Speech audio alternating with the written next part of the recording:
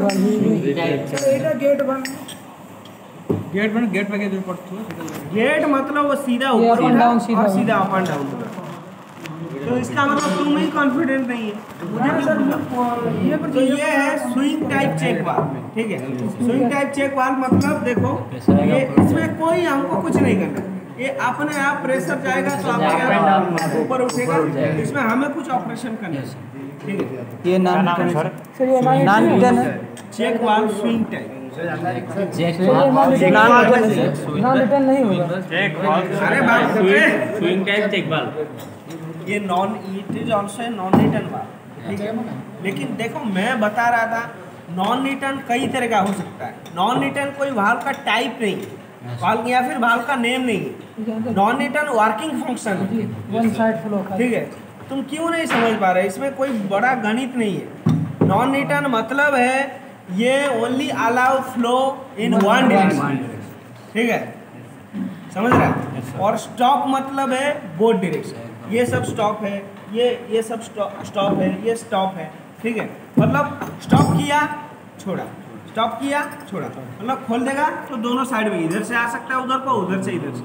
लेकिन ये सब नॉन रिटर्न ठीक है? नॉन रिटर्न मतलब इसके ए, एक ही अगर घुसा इसके अंदर वापस आने का चांस नहीं क्योंकि ये उस टाइम गिर जाएगी। ठीक है? समझ गया? चूहा पकड़ने का जो लगाते हैं ना चूहा अगर एक बार घुस गया बाहर नहीं निकला। वो भी that is also non return ठीक है? तो non return function of valves ये कोई टाइप ऑफ़ वाल्व्स नहीं। टाइप ऑफ़ वाल्व्स में ग्लोब वाल ठीक है गेट वाल बटरफ्लाई वाल कॉक वाल बॉल वाल ये swing type check valve spring loaded check valve ठीक है समझ रहा है? फ्लोटर वाल जैसे टॉयलेट में फ्लश में। है ना? वो फ्लोटर जैसे पानी गिर गया तो तब तक जैसे पानी उठेगा फ्लोट ऐसे हमारा एक्वागार्ड में भी है। हाँ एक्वागार्ड में भी है। जब वो हर जगह ठीक है फ्लोट है ना? तो। तो वही है। समझ रहा है? ये सब बस कॉमन सी चीज़ें हैं। हमारे डेली लाइफ में हम लोग बहुत देखते हैं। ठीक है? ठीक है? का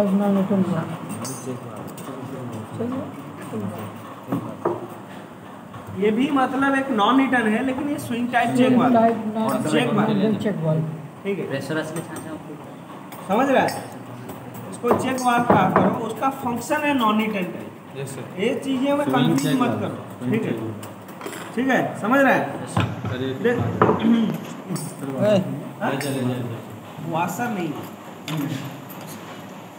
वासर नहीं है? अगर देखो कहीं उधर डब्बा में कहीं पे कुछ पड़ा होगा देखो ढूंढ के लेके जाओ नहीं तो नहीं तो ये सब चीज़ें हैं। अभी कंफ्यूज दूर हुआ। ये कोक वाल ये नॉन रिटर्न चेक बॉल ये? ये? Cock valve clock clock ball type. Cock ball. Ball type cock plastic ball देखा है तुम लोग यस सर मान लो कि ये पाइप लाइन है। एक पाइप उधर पड़ा होगा देखो हाँ वही वही ना.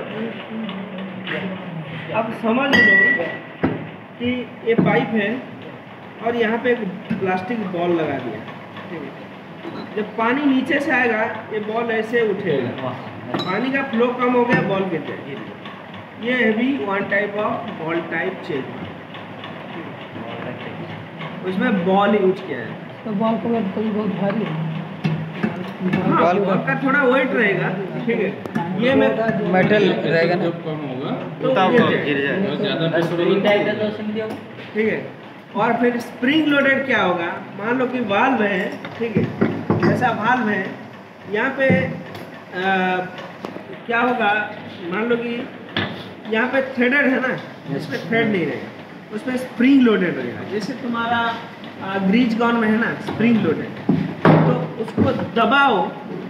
जब यहाँ से प्रेस करेगा स्प्रिंग से तो खुलेगा। तुम प्रेस किया खुला। और जैसे छोड़ दिया स्प्रिंग उठ जाएगा बंद। लॉकिंग सिस्टम नहीं नहीं स्प्रिंग स्प्रिंग बार जैसे पानी पीने वाला तुमको कहीं पे टैंक से कुछ ऑयल कलेक्शन करना। है पानी- पानी ड्रेन करना। है हाँ जैसे वो जैसे से है। ठीक है जहाँ पे जितना ज़रूरत है उतना तक दबाया। लिमिटेड यूज़ जहाँ पे है उधर हुई ठीक है ये स्प्रिंग टाइप ठीक है आपका गार्ड में इधर लगा हुआ है। Very good very good exam समझ गए? वो स्प्रिंग लोडेड हुआ। समझ रहे हैं? तो ये सब वाल्व का टाइप्स है।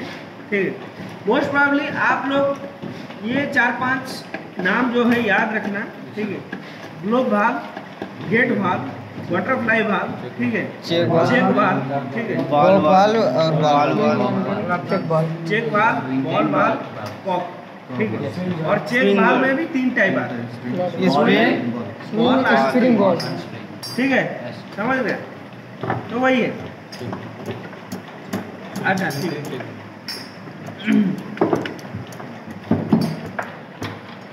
तो ये जो है अभी बाल का कंफ्यूजन दूर हुआ कि नहीं? यस सर और नेक्स्ट आगे फिर भी मैं बताएगा आगे डाउट होगा तो।